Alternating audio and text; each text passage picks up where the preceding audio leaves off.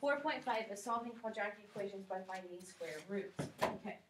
So you have the product property that tells me if I have the square root of a times b, I can separate those out if I need to, and I can take the square root of a and then multiply it by the square root of b. The quotient property tells me the same thing. If I have a divided by b under a square root sign, I can separate them out and solve. Okay, so if I have, um, something that says the square root of eighty, okay, you can do one of two things. I could break it down into numbers that have square roots like, um, oh, I don't know. Sixteen goes into eighty, right? Sixteen and five? Yes, sixteen and five. Sixteen has a perfect square, yes? Or you guys can do the factor tree. Do you remember the factor tree like this? Eight and ten, and eight is two and four, ten is two and five. This is two and two. There's a group of twos, there's a group of twos. So two times two is four, and you get four radical five. Okay, you can break it down either way, whatever you need to do. Or you could have separated it into radical sixty times, radical sixteen times radical five. I could have said radical sixteen times radical five and gotten the same thing for radical five. Okay. We need a review on this. It's all about knowing your facts and figures.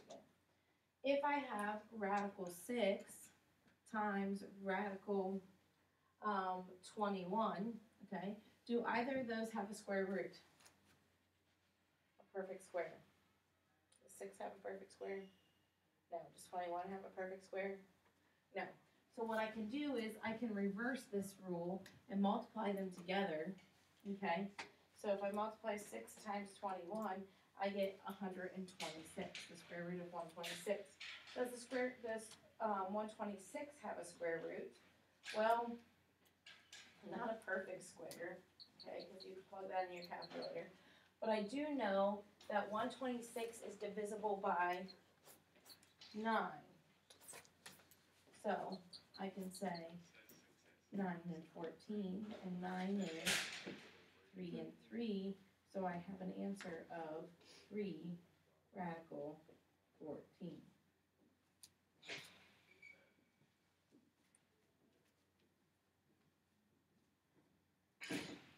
Let's say you have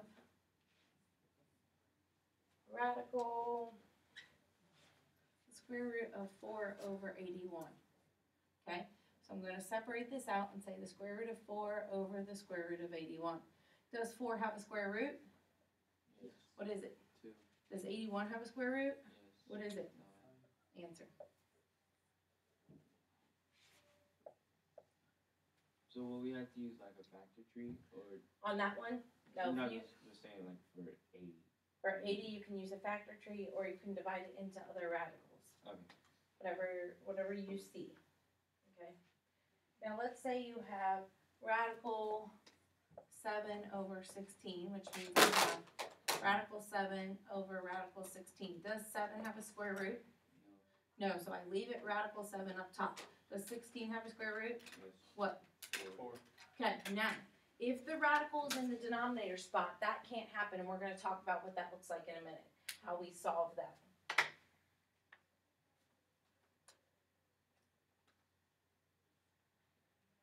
So, let's say, like I said, let's say you have a radical in the denominator spot. Um, Wait, wouldn't you just write the inverse of it? Mm, no. So if I have the square root of five over two, okay? We break it down to say the square root of five over the square root of two, correct? Okay. I cannot have square roots in my denominator, just like you can't have negative exponents, so you have to flip them, okay? Cannot have square roots. To get rid of a square root, you have to multiply, okay? When it's just a square root, you have to multiply by that square root that's in the bottom. So I'm gonna multiply the top and bottom by radical two over radical two. Here's why. What's radical five times radical two? What's five times two? Ten. Ten, so I have radical ten. what is radical two times radical two? Two. Radical four.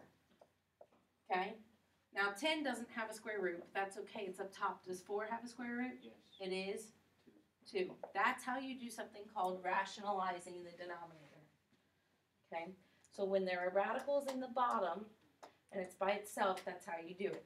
Now, if your radical has something else with it, like it's being added or subtracted to something, we have to take a different look at that. So if I have, I thought the radical couldn't be on the top. it can't be on the bottom. It can be on the top all at once. So if I have this, okay, three over seven plus radical two. Do you see how this radical two has a plus sign in between it? Okay.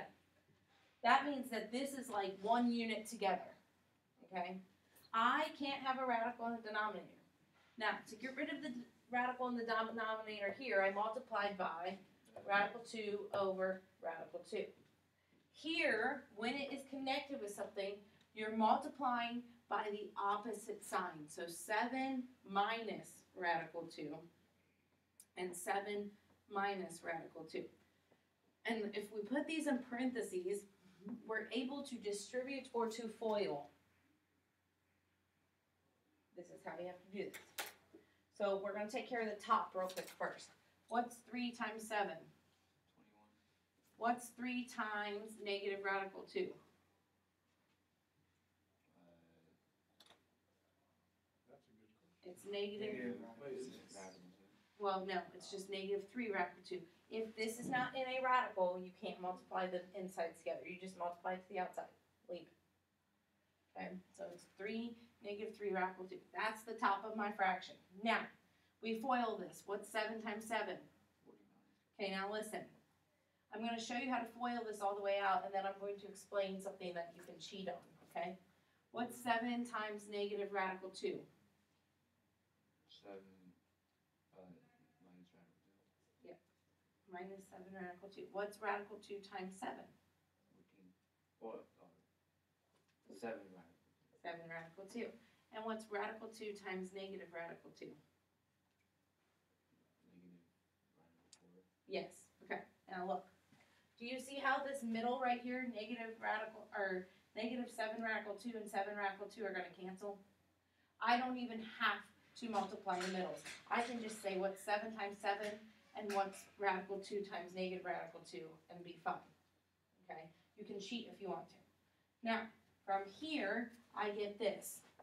21 minus 3 radical 2 over 49 minus radical 4. What is radical 4? Two. 2. So I have 21 minus 3 radical 2 over 49 minus 2, which gives me 21 minus 3 radical 2 over 47.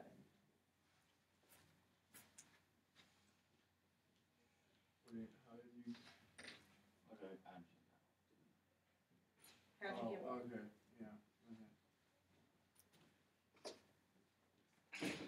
okay.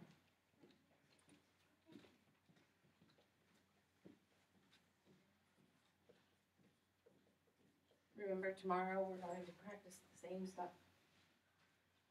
Okay, how do I solve this? What do you think my first step is? Subtract five. Subtract five, good, because we wanna get the x squared by itself, subtract five, and I get three x squared equals what, what's forty-one minus five? Thirty-six. Thirty-six. Okay, and then I'm gonna take thirty-six, I'm gonna do what with it? Divided by three. Divide by three, and you get x squared equals twelve, right? Yes. Now, how do you get rid of a square? How do you get x by itself? Uh, Yes, take the square root of it. So then I get x equals plus or minus. Remember, there are always two answers when you take the square root of something. There's a positive answer and there's a negative answer. Plus or minus radical 12. Now, is this in simplest form? No, why? Because if you factor it, you have four and three. And 4 is, It's a perfect square. yes. So you get x equals plus or minus 2 radical 3. Wait, what hap- what about two and six? you can do two and six, but then six breaks down into three and two. You have to break it down into the smallest pieces always. Okay.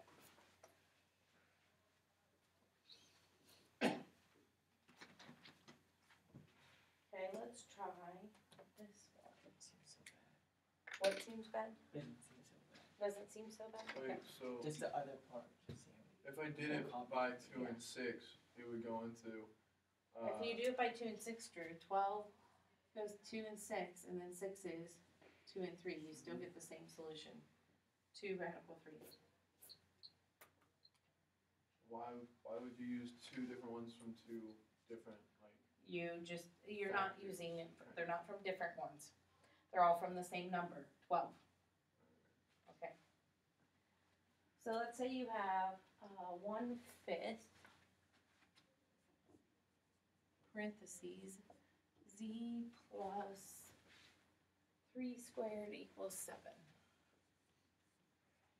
Okay. What's my first step?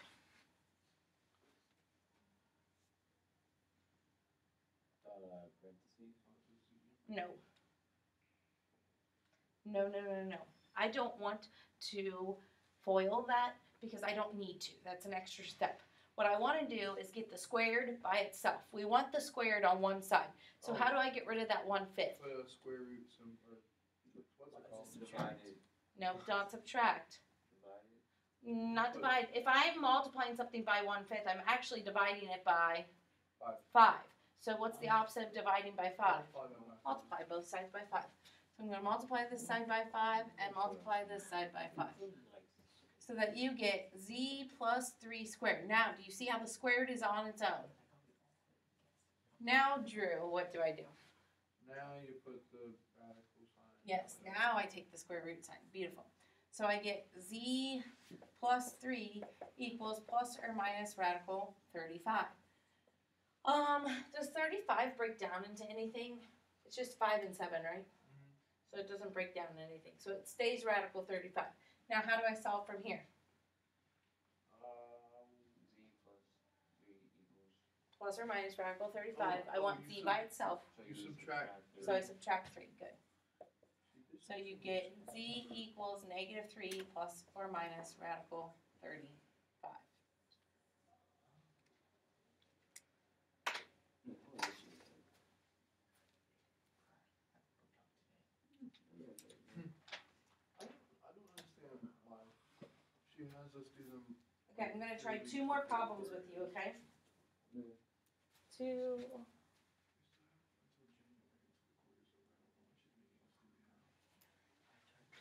Okay. 4 over 8 minus radical 3. How do I solve that? Or what do I need to do? I need to rationalize the denominator. How do you do that? How do I get rid of this radical down here?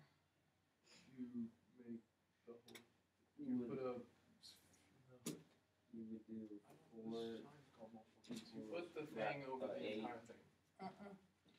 What do you mean you put the thing over the entire thing? Actually, I don't really know what it's called, because I've heard you call it both. When you I've called, put- I've heard you call it two things. when you When put, you- Like the radical when you sign put- goes over when you both. put eight whole over, thing. Oh, not right now, Drew. No. What?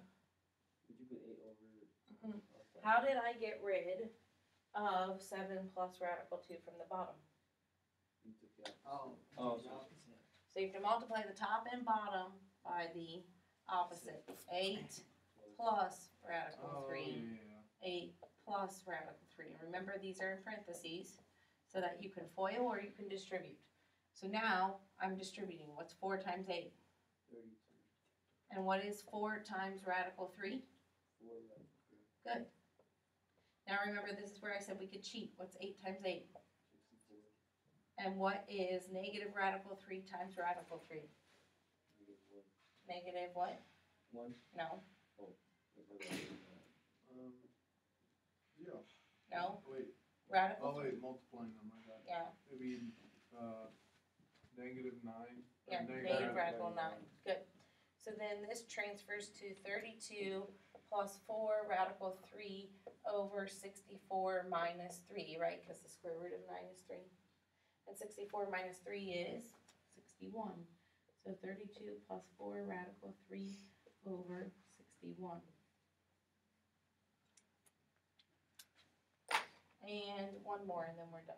How about we try?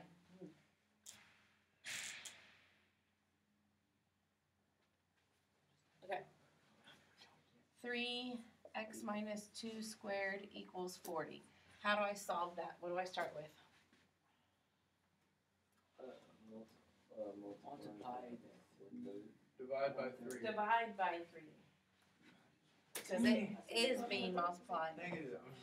So x, Oh, is it the same as multiplying it by one third? yes, it's the same as multiplying by one third. Okay, so x squared, x minus two squared equals, what's forty divided by three? It's gonna be a fraction or a decimal probably. Thirteen point three. So thirteen and a third. Yeah. Take the square root, right? X minus two equals plus or minus the square root of thirteen and a third. Clearly, that doesn't have a perfect square, we'll just leave it. And then we have to Add Add. add two. Are you sure it doesn't have a square root? really, really Boom. Beautiful. Okay, that is what you're doing on your homework tonight. And tomorrow we will do the same, tomorrow we will do the same thing.